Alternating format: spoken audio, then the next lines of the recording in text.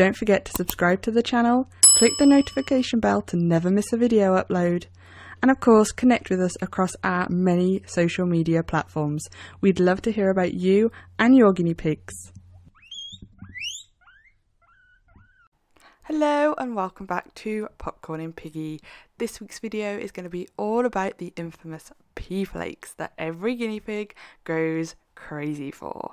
So, what are pea flakes? They are flaked peas. They are peas that have been heated, squashed, um, and then they are basically cooked, and then guinea pigs go crazy for them. I can't explain why. Personally, I haven't tasted it myself, but as you can see in the video here, all four of my gu- guinea pigs go crazy for them. My previous two have. All the fosters I've had have ever gone crazy for them.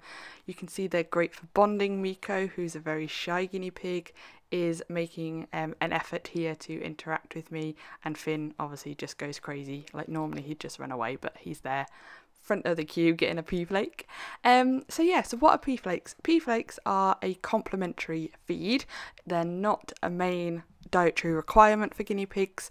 It would be a healthy treat that you would give them. Um, and it's not just guinea pigs that can enjoy pea flakes. Pea flakes are also suitable for rabbits, hamsters, gerbils, degus, rats, mice, chinchillas, and even parrots. They all love them.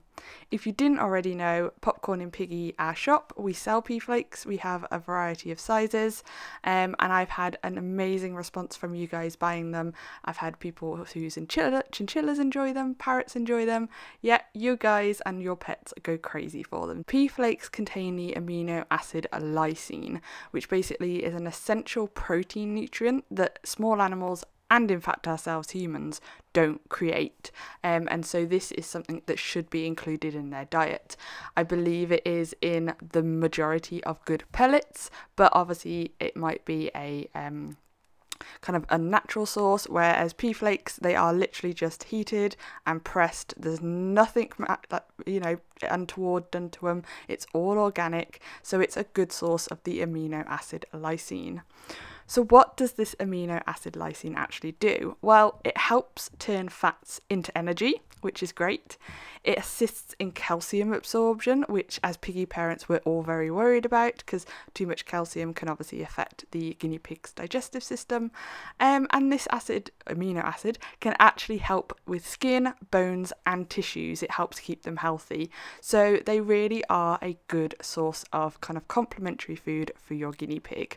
Um, you do have to be careful. Don't feed them too much because because they have all those goodness in them. They can be a little bit fat, fattening if fed in excess. So just a few a day would be more than enough. And yeah, they are great for bonding with your guinea pigs, as I've explained, as well as just interacting with your guinea pig and other animals too.